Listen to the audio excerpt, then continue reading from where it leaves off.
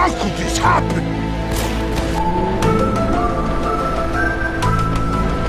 What's this now?